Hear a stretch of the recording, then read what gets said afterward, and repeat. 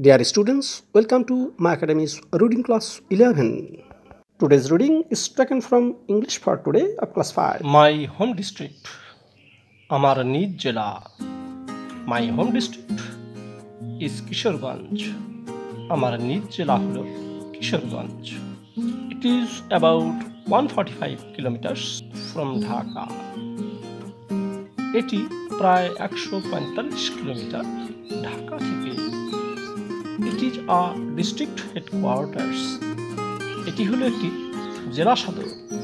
The district has eight municipalities thirteen upazilas one hundred eight unions and one thousand seven hundred forty five villages এই জেলাটি রয়েছে আটটি পৌরসভা, তেরোটি উপজেলা, একশো আটটি ইউনিয়ন এবং এক হাজার সাতশো পঁয়তাল্লিশটি গ্রাম।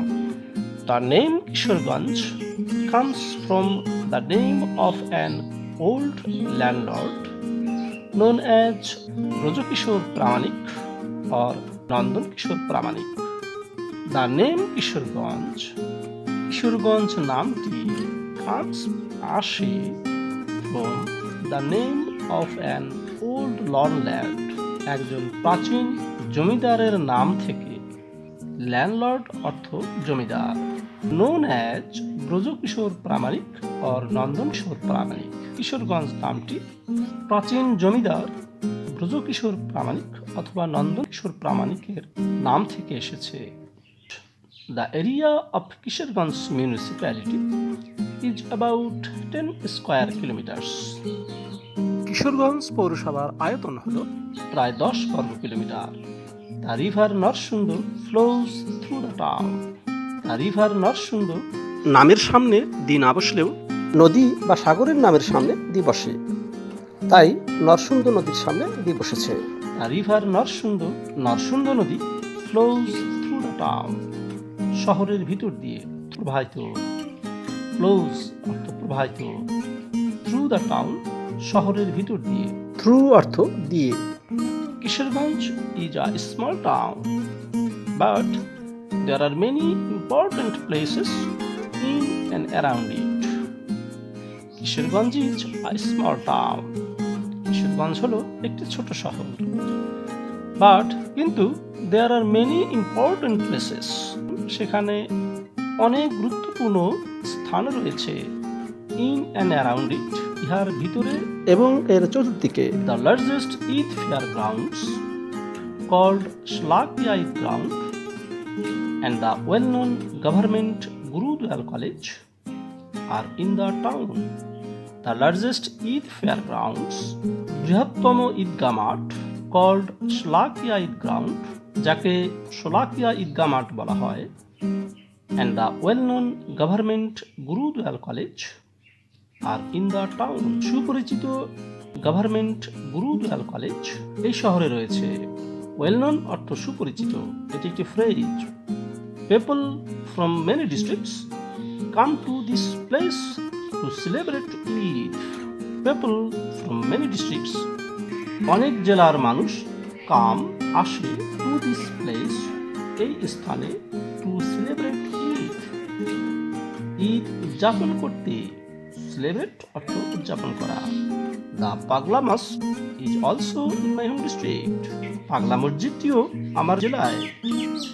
Outside the town you can visit the fort of Isha Khan at Jangalbari outside the town শহরের বাইরে ইউ ক্যান ভিজিট তুমি পরিদর্শন করতে পারো the fort of Isha Khan Isha দুর্গ ফোর্ট অফ দুর্গ at Jangalbari জঙ্গলবাড়িতে outside the town you can visit the fort of Isha Khan at Jangalbari শহরের বাইরে জঙ্গলবাড়িতে অবস্থিত ইশাখার দুর্গ পরিদর্শন করতে পারো।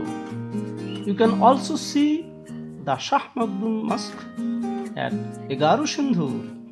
এগারো সিন্ধুরে তুমি শাহ মকদুম মসজিদও দেখতে পারো। Near the Phuleshwari river you can see the Shiv temple of Chandrabati near the Phuleshwari river, Phuleshwari নদীর কাছে ইউ ক্যান সি তুমি দেখতে পারো the Shiv temple of Chandrabati চন্দ্রবতীর Shiva temple অর্থ মন্দির।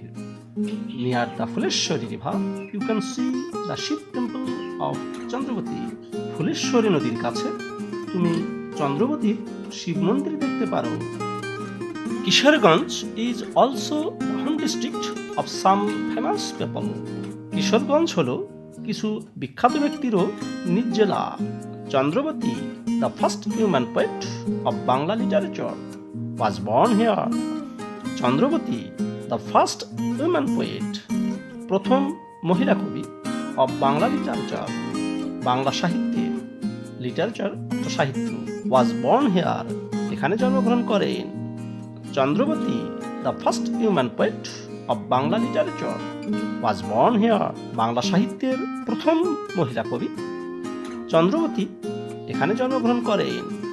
Two writers of children's literature, Upendra Kishore Roy Chowdhury and Sukumar Roy are also from here two writers of children's literature, শিশু সাহিত্যের দুইজন লেখক, Upendra Kishore Roy Chowdhury and Sukumar Roy are also from here Upendra Kishore Roy Chowdhury এবং সুকুমার রায়ও এখান থেকে এসেছেন।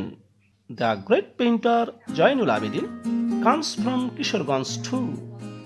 বিখ্যাত চিত্রকর জয়নুল আবেদিনও কিশোরগঞ্জ থেকে এসেছেন। কিশোরগঞ্জে জন্ম নিয়েছেন। কামস ফ্রম মানে জন্মগ্রহণ করা।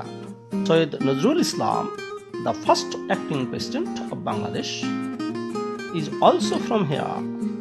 Syed Nazrul Islam, the first acting president of Bangladesh. Acting অর্থ ভারপ্রাপ্ত। বাংলাদেশের প্রথম ভারপ্রাপ্ত প্রেসিডেন্ট সৈয়দ নজরুল ইসলামও এখান থেকে এসেছেন। I love my home district আমি আমার নিজ জেলাকে ভালোবাসি। And this is the end of the class thank you all for watching the video class for more videos subscribe the channel